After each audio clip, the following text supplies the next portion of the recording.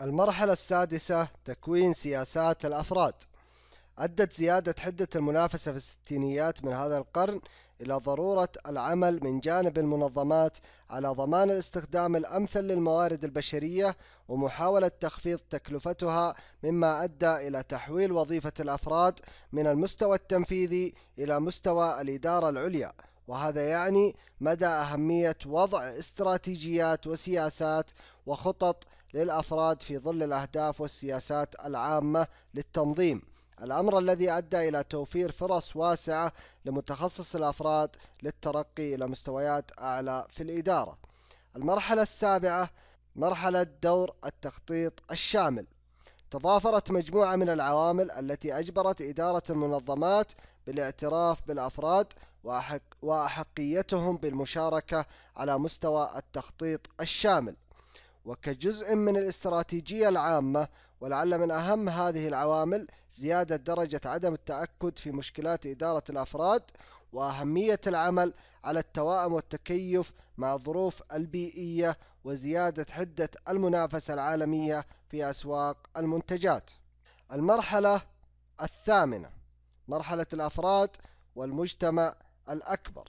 أصبحت إدارة الأفراد تحتل سلطة إدارية ومكانة أعلى داخل التنظيمات المعاصرة وأصبح من الضروري الاهتمام بأنشطة الأفراد لتأثير العوامل البيئية على كل من المنظمات والعاملين فيها.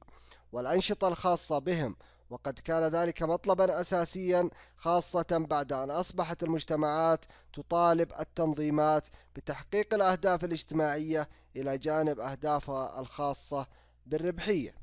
العملية الإدارية لوظيفة الأفراد. أولا موقع إدارة الأفراد في الهيكل التنظيمي للمنظمة. يمكن القول إن هناك أربعة أشكال تمثل عدد وحدات الأفراد ومستواها التنظيمي في المنشأة. والتي يمكن تناولها كما يلي أولا وحدة مركزية للأفراد يعكس هذا الشكل وحدة مركزية واحدة للأفراد تقوم على خدمة جميع أقسام المنشأة وترفع تقاريرها مباشرة إلى المدير العام. ثانيا وحدة مركزية للأفراد ووحدات على مستوى القسم السلعي والوحدات. ويلاحظ في الشكل التالي عددا من التقسيمات التنظيمية على أساس السلع المنتجة حيث توجد وحدة إدارة أفراد مركزية ترفع تقاريرها إلى المدير العام مباشرة وعلى أساس وحدات فرعية للأفراد ترفع تقاريرها إلى مديري الأقسام السلعية. ثالثا وحدة مركزية للأفراد ووحدات على مستوى المصانع. وتبعا لهذا توجد وحدة مركزية للأفراد تتصل مباشرة بالمدير العام كما يوجد التقسيم وحدات فرعية أو كما يوجد تقسيم وحدات فرعية على مستوى المصنع تقدم تقاريرها لمدير المصنع. رابعا الشكل المختلط. وهنا يوجد نموذج لشكل مختلط يضم الأشكال الثلاثة السابقة. فهناك وحدة أفراد مركزية ووحدات على مستوى القسم السلعي ووحدات والوحدات الوظيفية ووحدات أفراد على مستوى المصانع. وبالتالي يسمى هذا النوع بالشكل المختلط. باء تخطيط الموارد البشرية. أولا مفهوم التخطيط للموارد البشرية.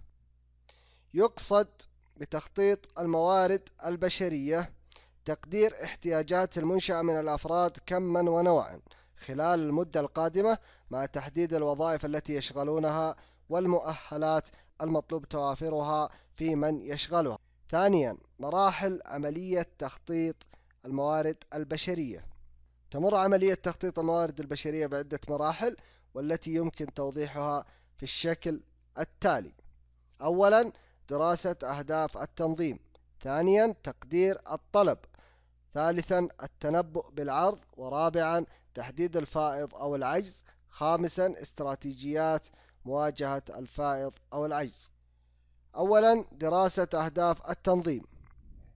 الغرض من دراسة أهداف التنظيم لأغراض التخطيط للموارد البشرية التعرف على الاعتبارات التي تؤثر على تقدير الاحتياجات من القوى العاملة المطلوبة.